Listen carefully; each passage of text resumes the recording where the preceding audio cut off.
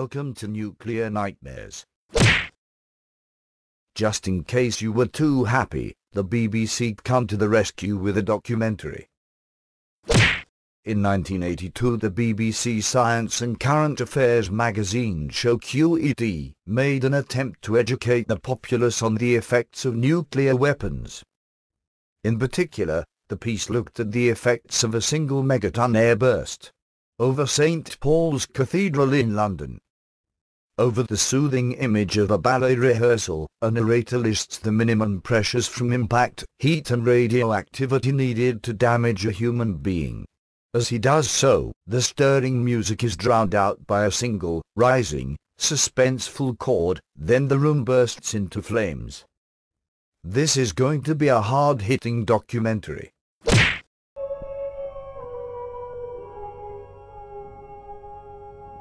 Suppose, a mile above the dome of St. Paul's Cathedral in London, on a clear morning, a single one megaton weapon explodes.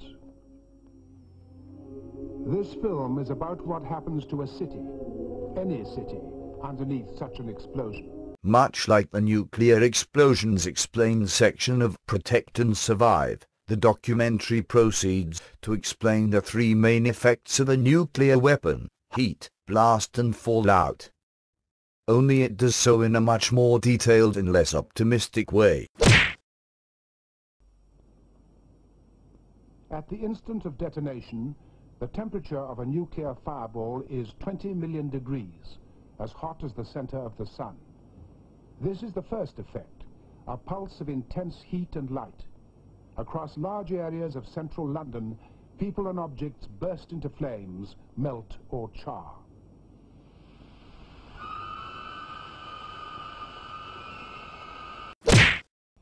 At St. Paul's itself, ground zero, directly under the fireball, the initial heat is intense enough to melt the great bronze cross. Trafalgar Square, the National Gallery. Inside, at the same instant, paintings are burning. In St. James's Park, the same thermal rays are hot enough to ignite trees and scorch away the grass.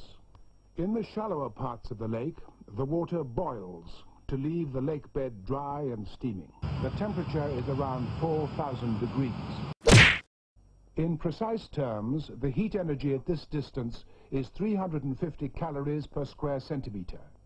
That is enough to vaporize the road surface, melt parts of statues, and set fire to everything combustible.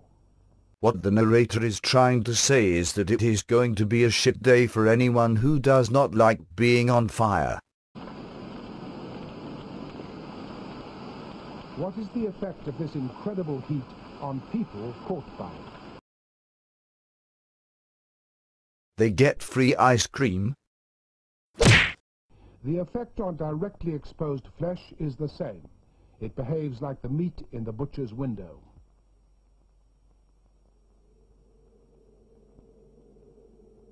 Animal fats melt and burn. Tissues are charred to black carbon. This is at four and a half miles. The temperature is around 1800 degrees. Okay, so this bit is more than a little scary and depressing. Don't worry though, things are about to brighten up considerably.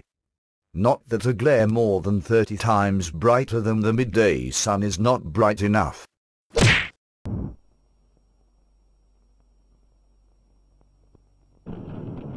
Seconds after the detonation, a mile above the cathedral, the blast wave arrives. It is as if St. Paul's was smashed by a giant million-ton fist.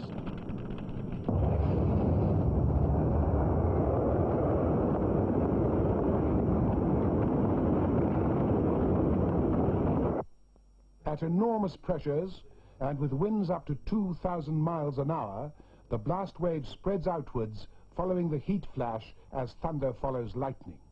Within 20 seconds, the destruction as far as Bayswater is virtually total. After these all too familiar special effects shots, the documentary goes on to explain the civil defense options available to people living in London during a time of massive crisis. But before that, we have enough time to see what flying glass does to a pumpkin.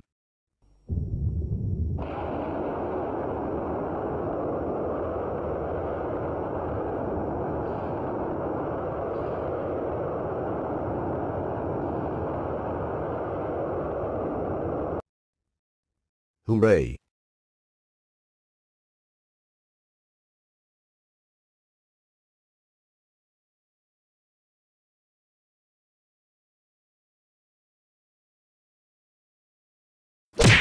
Refreshingly, the documentary does not pour scorn on government preparations. Indeed, their value in terms of protecting yourself from fallout is mentioned at some length. The trouble is to do with the other effects. The couple shown here live about four miles from the theoretical ground zero. The whitewash keeps 80% of the heat out. There may be fires in unprotected houses nearby, but Joy and Eric should survive, Oh, goody goody. at least for 17 seconds. Oh, bollocks.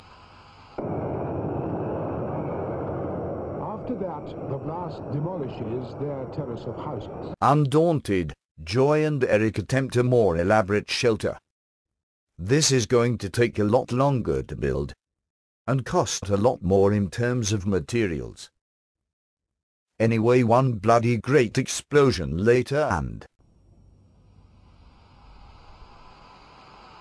The earth cover stands up to heat very well, although any exposed wood may be charred.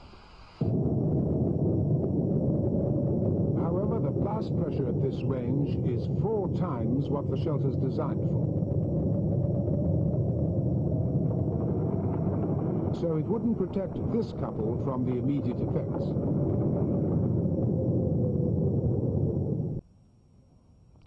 From here on, the options take increasing amounts of time and money. There are now about 30 firms who will sell and install for you a purpose-built nuclear shelter in any combination of steel, fiberglass and concrete.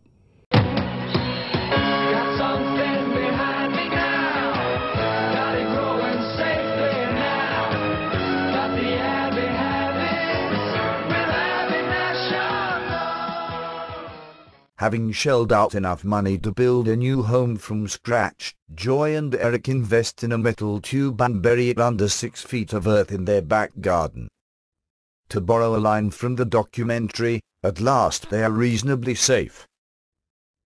After pointing out that one warhead would be an unlikely attack pattern, the documentary moves on to a couple living further out from the expected blast zone, and invite them to spend two weeks in the dugout shelter we saw before.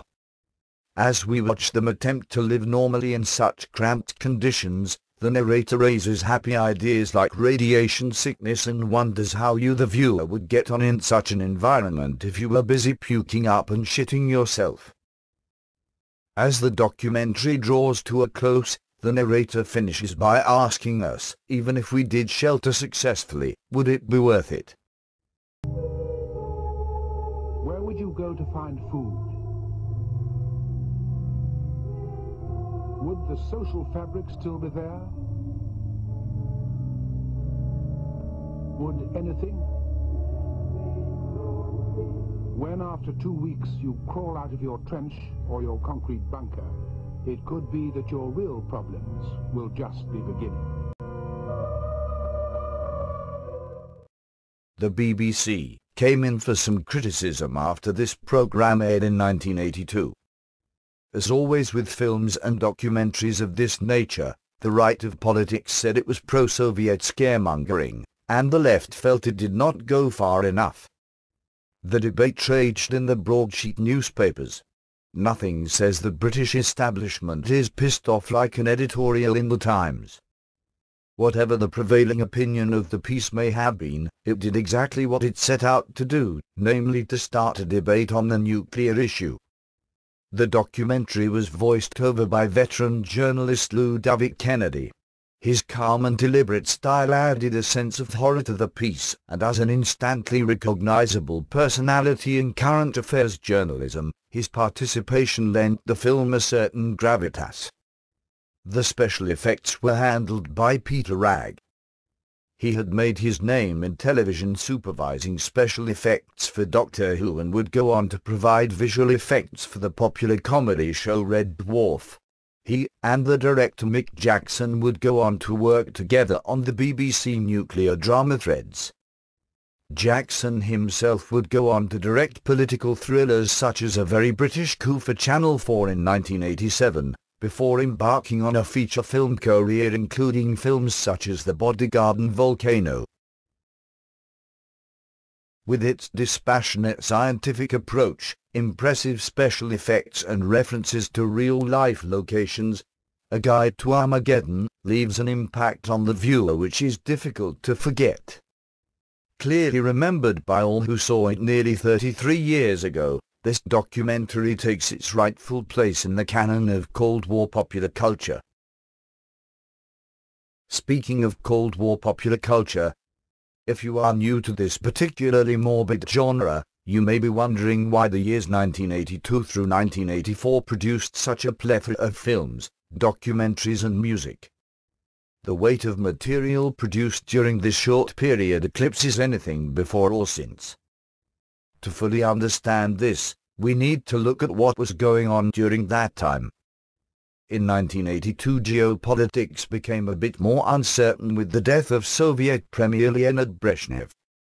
Western observers were worried by the appointment of Yuri Andropov, given that he was an ex-KGB director, and though in East-West relations did not seem likely, if anything it was believed that things would get worse.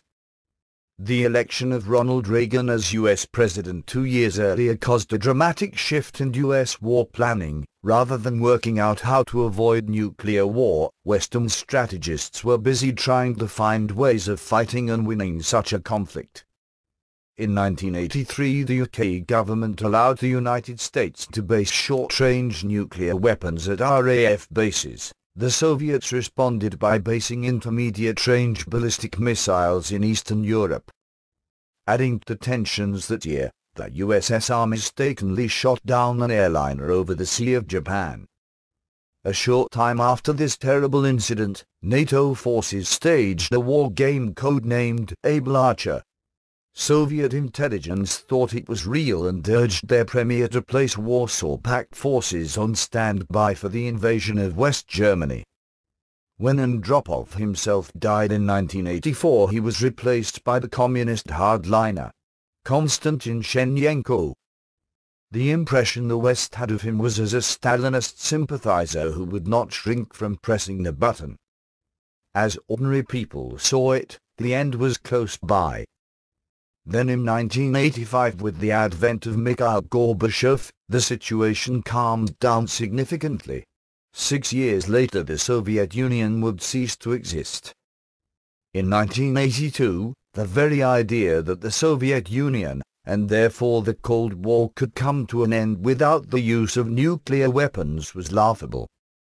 As such, the culture of the time produced works which manifested the emotions felt by the populace at large. Whether you like or loathe the genre, it is worth noting that all it would have taken is one slightly different reaction during those two years, and there would have been no one left to look back at the plays, films and music that a particularly fraught period in human affairs was able to produce. That's all for this episode. I do hope you will join us next time on Nuclear Nightmares, but until then remember, You are better off in your own home. Stay there. No